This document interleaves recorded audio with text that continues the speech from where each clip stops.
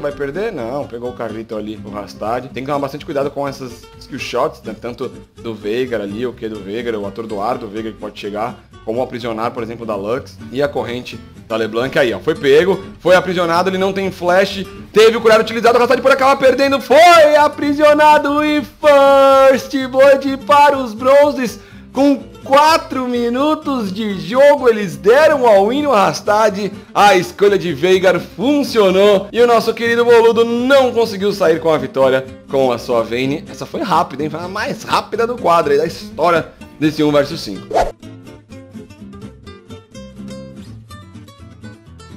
Meus caros amigos, sejam muito bem-vindos a mais um vídeo e hoje eu trago de volta a série 1 vs 5 aqui no canal e o convidado da vez é o Rastad. Se você não conhece o Rastad, o Rastad é um streamer, faz muito sucesso aí na Twitch. Eu vou deixar os links tanto da Twitch quanto do YouTube do Rastad na descrição para você conhecer esse jogador. Ele é muito conhecido por jogar com a sua Vayne e é muito conhecido também por dar muito rage. Ele está sim de Vayne flash e purificável preparado. Enquanto do outro lado nós temos, claro, sempre cinco bronzes. Se ele vencer, ele, ele enfrentará os pratas e assim por diante. Então nós temos uma Lux, uma Zyra, uma Morgana, uma Syndra e uma Miss Fortune dos bronzes ali do outro lado. Vamos ver se o Rastad será o cara e igual o Tim vencerá aí os cinco bronzes, ele que pode ser pego já. Bom, começo de jogo então onde os bronzes ali é, tentam um pouco das suas skill shots para cima do Rastad, mas ele desvia bem tanto da Morgana quanto da Lux. Ligação das trevas e ligação lu da luz. Não consegue farmar ali o Minion da frente. Pode ser daivado, tem que tomar bastante cuidado. Esse poke chato aí da Miss Forte, né? Com a lentidão que dá e o dano alto que dá também. Cinder também tentando acertar suas esferas. Ele tem que tomar muito cuidado para não ser aprisionado. Saiu de um, não saiu, vai pegar o outro. No! Morgana! Você não errou isso, né? Nossa, foi muito feia essa ligação das trevas. O Rastad estava parado e a Morgana não acertou. A Lux fazendo um bom trabalho nesse começo de jogo por enquanto. Focando ali sua ligação da luz. O Rastad foi pego. Toma o dano da Morgana, toma o dano da Miss Fortune e recuou muito bem. Olha, ele escolheu Vayne porque é o seu principal campeão, mas é muito complicado jogar de Vayne 1 versus 5. Muito difícil. Bom, chega na torre de novo, o Rastad tá bem recuado. Foi pego por um, toma o dano do outro não consegue pegar o carrito ali, né? Um pouco mais da grana. Ele mesmo que chama de carrito, né? A catapulta. Lembrando que o Rastad é argentino, então o nosso querido Boludo aqui jogando com a gente, tentando vencer os brasileiros. E ele que pode ser pego? Não. Recuou muito bem. Na hora certa vai perder o farm, claro. E agora com o level 2 dos bronzes, ele tem que tomar bastante cuidado com o atordoar da Sindra, que vem de longe, e claro, todo o controle de grupo que vem do resto dos bronzes. Então desvia bem da ligação das trevas, desvia bem também ali é, do aprisionário da Zaira. Chegando todos os bronzes na torre. Esse poke da Miss Fortune incomoda. Quase foi pego. Saiu no lugar certo, na hora certa. A ligação não pegou também. Olha, esses bronzes vieram com uma composição bem inteligente, com muita skill shot. É claro, seria ainda mais fácil se tivesse algum controle de grupo certeiro, target, né? Que só mirar e apertar e o Rastat seria atordoado. Olha, foi aprisionado, vem ligação das trevas, vem tudo pra cima dele. Nossa! A Zaira jogou pro outro lado. A Cinder não conseguiu ali o atordoar e o Rastad vai sair vivo com metade da vida. Chegam de novo os bronzes na torre. Rastad pode encontrar um pouco de dificuldades. Recua muito bem. Ali, sai. Vai farmando debaixo da torre. Consegue pegar todos os minions, é claro. Tem que desviar as habilidades ali dos campeões bronzes. Mas recua muito bem o Rastad. Por enquanto, vem fazendo até um bom jogo. Tá ali com 26 de farm. Ele que está level 5 contra level 2. A onda de minions vem chegando. Então aqui na roda do meio, a ligação quase pegou. O Rastad foi obrigado a dar o seu rolamento ali pro outro lado. Vai pegar o máximo de farm possível ali debaixo da torre. É meio complicado para ele. Ele que não pode ser pego por nenhum controle de grupo, você não vê um all-in, tem incendiar, tem exaustão, tem tudo. Foi pego pela Lux, mas está muito distante. Nem deu tempo da Zyra chegar e conseguir acertar o seu controle de grupo também. Level 6 para Vayne do Rastad, e agora que o jogo pode começar para ele.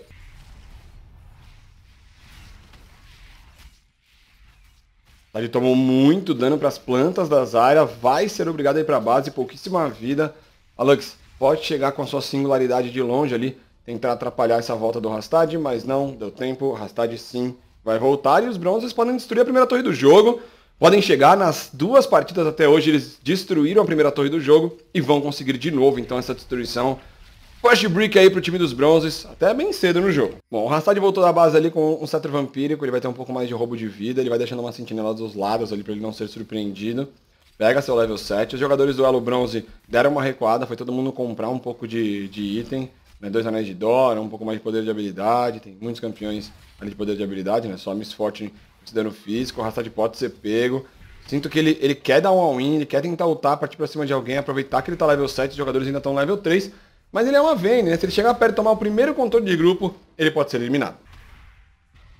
Opa, o Hazard foi pego. O flash da Lux, o cleanse funcionou. Foi na hora certa. Ele sai com o Purificar e flash. Utilizou seus dois feitiços. Porque seria abatido depois de um all-in muito rápido do time dos bronzes. Um bom flash da Lux com a ligação da luz ali. E lógico, um grande aprisionado pela Morgana também para começar essa luta. Olha o comentário da vida. Então cuidado para não ser daivado. Os bronzes só precisam desse primeiro abate. Olha, ele não foi atordoado. A torre bateu na Sindra quase, mas ele foi pego. Toma muito dano. Pode ser eliminado pela Zarya. Incendiar ticando o dano. Ele tem a poção. Será que ele vai morrer? O Rastad sai vivo com pouquíssima vida e vai ser obrigado a ir pra base. Os bronzes chegam na torre tier 2 depois de mandar o Rastad pra base. Eles vão destruir a tier 2 da rota do meio, mais ouro global para eles. Rastad tá voltando da base, aí vamos ver com o que ele comprou. Comprou um pouco de resistência mágica e uma bota, então vai sendo pressionado pelos jogadores do Elo Bronze que vão chegando na tier 3, desvia muito bem da ligação da luz e vai tentando farmar o zoning que ele recebe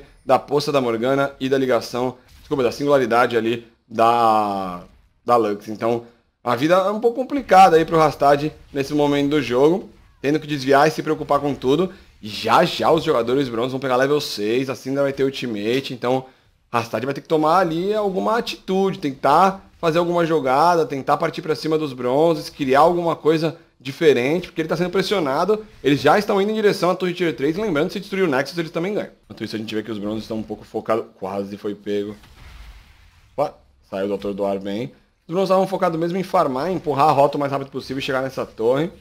Level 5 para todo mundo do time dos bronzes. O Rastad vai encontrando um pouco de dificuldades para sair debaixo da sua torre. Morgana tentou um ponto futuro ali para cima do Rastad, não conseguiu. O dano da Lux e da Miss Fortune acabaram até entrando para cima dele ele vai ficando ali debaixo da torre, desvia muito bem de tudo, vai buscando farmar, vai buscando crescer. Será que o Rastad consegue? Tá saindo bem, por enquanto tá desviando bem. Opa, desviou a queima-roupa ali da Morgana. Ele tá level 9, os jogadores estão level 5, ele pode tentar ir pra cima, desviou bem também, foi, toma bastante dano e acaba dando uma recuada. Muitos pings do time bronze de longe ali pra cima do Rastad, quase foi aprisionado. Morgana pode acertar o seu Q ali pra cima dele. Ele dizia muito bem tanto da Syndra quanto da Morgana. Agora sim, foi atordoado. Ultimate, ele ultou também. Hassad vai pra cima, tira bastante dano. Foi aprisionado, pode ser eliminado. Sai com o rolamento, fica invisível. A ligação pegou, o incendiário tá ticando. Ele vai acabar morrendo e First Blood fica na mão da Syndra. Fica para os bronzes. O Rastad enrolou, enrolou o máximo possível, mas não deu foi eliminado pelos bronzes. Então é isso, galera. Espero que vocês tenham gostado desse vídeo. Claro, foi difícil para o Rastad, ele foi de Vayne. Os bronzes estão ficando mais espertos aqui no meu canal. Estão jogando com campeões com mais controle de grupo e não dando chance. Lembrando que até agora o único que venceu foi o Tim. O Aiel e o Rastad entram aí para o hall dos derrotados. Bom, se vocês gostaram desse vídeo, não se esqueçam de deixar o seu like, de se inscrever aqui no meu canal porque ajuda bastante e, claro, compartilhar com os amigos. Muito obrigado por terem assistido esse vídeo e a gente se vê na próxima, galera. Fui! Galera, tô aqui com o Rastad, então é, no Discord. E aí, senhor, o que que aconteceu, cara? O que que foi de difícil? O que que você achou complicado? E aí, Lecotes? Pô, mano, primeiramente, muito obrigado aí pela oportunidade de jogar um prazer, mano. Eu te admiro muito como que você faz.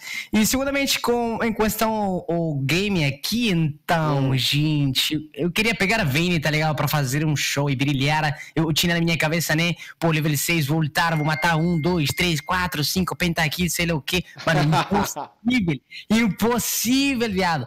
Cara, era muito CC, tá ligado? Eu peguei Sim. cleans, mas não deu, não deu. Tipo, era muito, muito, muito CC, tá ligado? Tipo, era um CC atrás de outro e, e não deu, que era, era muito AP, tá ligado? Eu tentei fazer Hex uhum. Drink, mas não cheguei. Sei lá, eu acho que eu joguei mal, tá ligado? Porque eu, eu poderia ter ido ali antes pra tentar matar um cara e, tipo, tirar um cara da luta, tá ligado? Que se chama um Logo V4. que você pegou level 6, né? Cara, eu demorei muito, tá ligado? Aí os caras já pegaram 6 e azedou pra mim. Eles jogaram bem, eles jogaram bem. Jogaram pra ser bronze, eles jogaram bem, jogaram bem. Por inteligente. Você acha que a The Carry então não funciona? Ó, ó, você perdeu de Vayne, o, o Aiel perdeu de Zed e o Tim ganhou de Syndra. Você acha que tem que ser. Ah, ah, o Aiel perdeu? Então o eu não perdi. perdeu. Não, você também não, não Ah, não. perdeu. Não foi o único. né? Ah, se perdeu o melhor do Brasil, por que não posso perder eu, né?